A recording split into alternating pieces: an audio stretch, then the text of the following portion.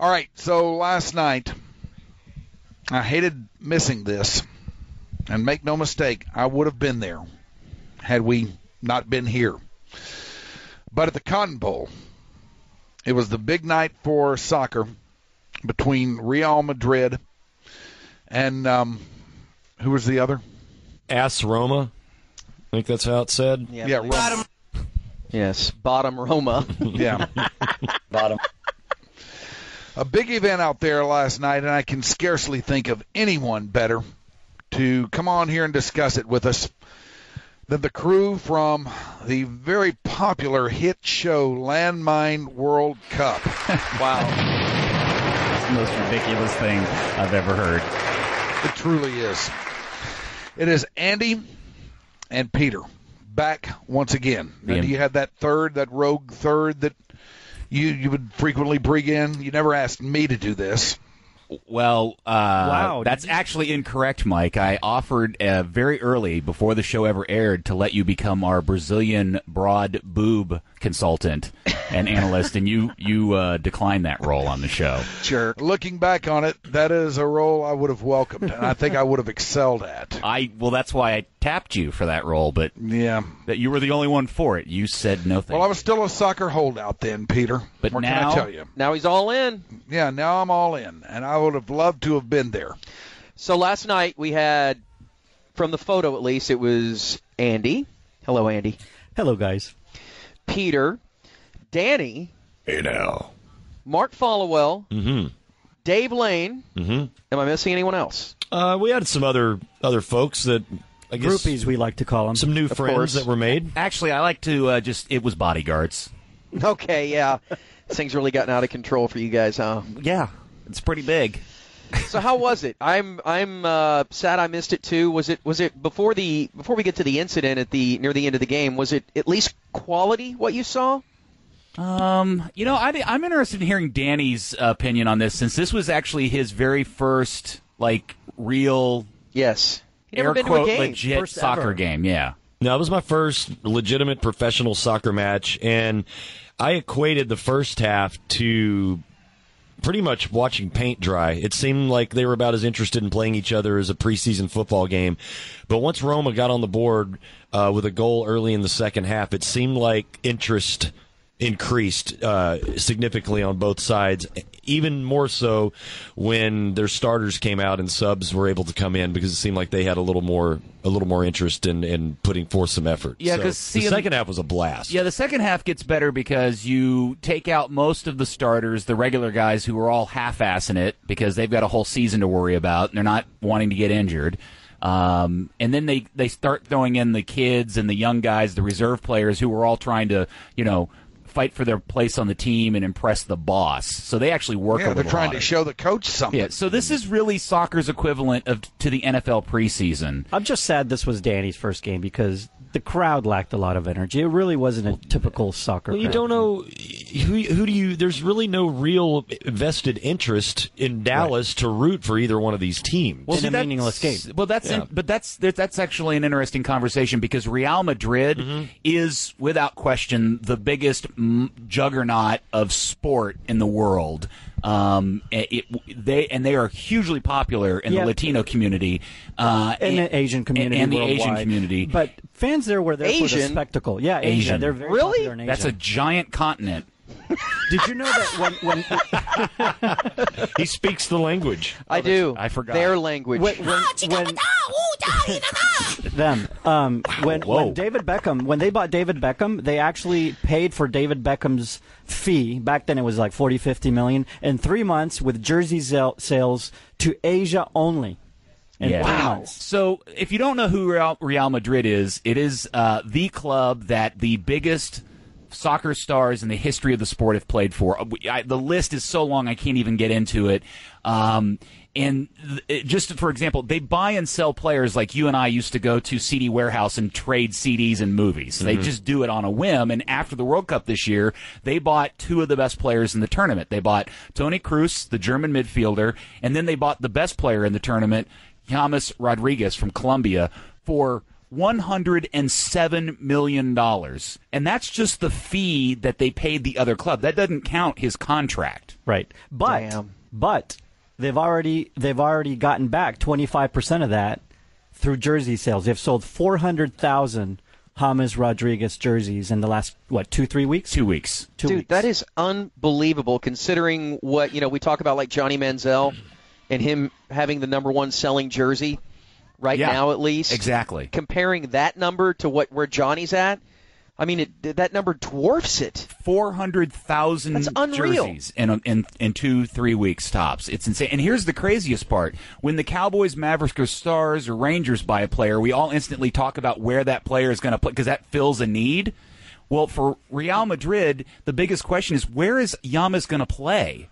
Because it, he doesn't really fit the formation they play, and they've already got a bunch of other players that kind of play positions that he may play for them. So They just do it to do it. they just do it to do it. So that's why that, that's why the crowd you saw outside the Ritz Carlton was as it was the other night. Mm-hmm. That's why everybody's freaking out that Real Madrid's in town because they are a juggernaut. It's Dude, insane. I'm telling you, that video will will give you chills if you haven't seen it before. And Real Madrid did a really good job of putting it together. It's, you- I mean, it's it's out there. You can YouTube it, but I know it's on RealMadrid.com where they started filming it on the plane, uh, headed to Dallas, and then the reception that they got after, you know, when they landed and going into the Ritz was. It was It like was- the it was like the Beatles. I mean, I mean, Yes, it it was. ridiculous for me to say that, but it really was a lot like the Beatles. There's people crying and trying to break through the line. It's 15, 20 people deep. It was ridiculous. Well, okay, so and and they had security intact at the Ritz, but it seems they didn't have security intact at the actual event. Well, yeah. So the Cotton Bowl, most people forget back to the uh, old Dallas Burn days. Access to field level at the Cotton Bowl ain't real difficult. Uh, in the farthest corners where the wall comes down, it's essentially field level, and it doesn't take much just to step over it. And one kid decided to step over it, and then a second kid decided to step over it, and then some adults, and male and female. Uh, and before we knew it, there was 20, 25 different, you know. it was mostly teenagers though. I've Mostly teenagers running. like that. I've, It was nuts. I've seen games in 10, 15 countries. Never seen that many, those many invaders. and No fat chicks out there trying to take a selfie. there was anything? one. There was one. Yeah. Uh, she wasn't. No, I think that was harsh She to was call her fat. She was thick. Nobody could catch her though. She was. Yeah, she was moving. Deadspin.com has has an article about it with like eight different views from different fan perspectives Mm-hmm. from different angles at the stadium. It's great to watch. How long did it take for for that to take place? What Six, was the seven minutes. Yeah. About eight minutes. Yeah. It was, Okay, let me ask let me ask you this: Was the clock still moving? Oh yeah. Of course. That is so Dude, funny. time time expired, Corby, in the second half while they were still cleaning that mess up. And did they actually put enough extra time on there? Damn sure did. They did. It was. ri- It, at one point, I thought they were just going to call the game because it happened like the 87th minute, and then Who it- won? What was the score? Roma won one nothing. Okay. And, All right. uh, and Davy Lane was very proud of that fact. Yes, because and tried to incite a riot at the train station. Right, with a Davey, chant. Craig, and myself pledged our allegiance to Roma on the essentially walking up to the Cotton Bowl. We picked the team that we were going to root for. By the way, we trained it. We were very, Very Euro, Euro. yesterday. Oh, yeah, we took the took dart rail from from Victory all the way down to the Cotton Bowl. Wow. And back. And back. scarves And and, pints of beer. We were and- singing. That's It right. quite the scene. Pitchforks. That's, Now, what, that's of- what you get when you uh, go to a game with the landminers. By the way, Right. you get the whole You get the full European experience. How how white was the crowd? Were you guys like the only five? Not No. very no, I would I would say no. It was pretty eclectic, and brown. It was very brown, bro.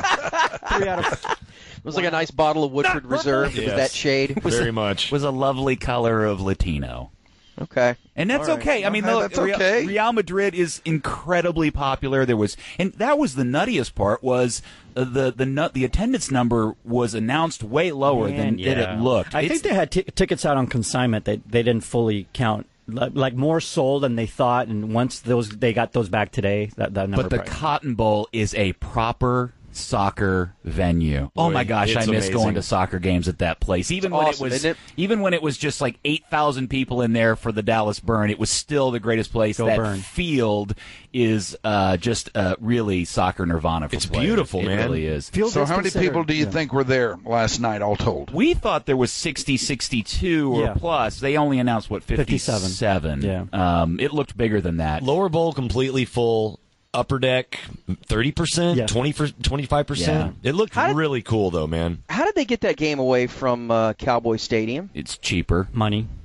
Okay. Money and the field. Uh, The field. They're having some issues now when the Cowboys lay grass over the the turf. Yeah. uh, they're getting word of mouth is spreading that it's a little bit a little bit uh, hard. It's so bad inside the Death Star because they just take sod and lay it on top of concrete, and it's too tight of a. The confines are too small, and it's just. Yeah. It's not a good. Ex- and then Ronaldo was there last night, and that was maybe the most interesting part of that whole event was watching him because he didn't play. He's still injured. He doesn't need to be there. He should be in some European spa getting a rhino placenta injection cheering, or something. And most cheering in the first half was when they would put pictures. they of put them up pictures. on the- They'd put Ronaldo up on the screen. There and- were a handful of scoring chances in the in the in the first half, and like like they said, when Ronaldo went up on the jumbotron, you would have thought that that Jesus was coming down from the heavens to visit his people. What Right. about Donaldo? Does he get any of this? Okay. He was. You know, you made it. He stayed. You made it 13 minutes, Mike. 13 quality minutes of hardcore soccer talk before you drop Donaldo. Roma, by the way, stayed across the street from these very studios. No, you're Uh, yeah. Okay. So so one's at the Ritz, and uh, where, One's where at the Ro- W. Roma stayed at the where? At the W, right the across W. from. Uh, the Okay. studio. Yeah. Okay, that's nice. So what do these two teams get paid to do this? Do we know? Millions. Millions, yeah, and that's why they do it. It's the, just like I said, it's the NFL preseason. Players, coaches hate it. Owners love it. They make crazy money, um, and it it's not the best use of your soccer ticket dollar, in my opinion. But Yeah. it's the only time you're going to see these teams probably in your lifetime, so you might as well go. All right. So who pays that fee? So there's a promoter. He he puts on this series of games, His name is Bob. and so uh, Real Madrid, Man U, they'll cost four or five million per game. Maybe swerving there's a package guy. deal. Roma will cost a little less, but when you add up all the team fees, the travel, hotel, ticket, ticket sales pay for all that, and then they make their money with any sponsorship sales they'll they sell into and TV rights. So Okay. So what what like what was a what was the average ticket? Oh, they were forty eight to hundred and ninety dollars, Probably depending. 55. Yeah, 55 And that made up for the whatever Yeah. 10 million bucks. I bought my ticket um, about a month ago, I guess, and it was, or maybe a couple of weeks ago, and I had an upper deck ticket, and it was like fifty, and the guy and the tickets that you guys had were, I think, were around seventy five, and they were, and we were like on row forty, right on the goal line. So maybe the ticket price 70. Yeah, 70 they were probably yeah. a little higher. Now, just understand this: in a couple of days, Real Madrid will play Manchester United in Ann Arbor in front of like 110,000 people in that college stadium. Uh, That's the big house, it- Corby. and it is sold out. I mean, it will be full to And the it sold brim. out quickly, and too. it sold out very quickly. It, won't that be the largest audience Ever. ever to watch a soccer game in the U.S. or does the Rose Bowl have that distinction? no, th- th- that'll get it. When once they play the game and it becomes official, that'll be it. And you've got Liverpool and is that Man This U? is uh, Man City and Man Liverpool, City and and they're playing at, at Yankee Stadium, Which is awful. Yeah. This They is a should never ter- do that. and this is bad news because this is where the new MLS team NYCFC is supposed to play for, for the first two or three seasons.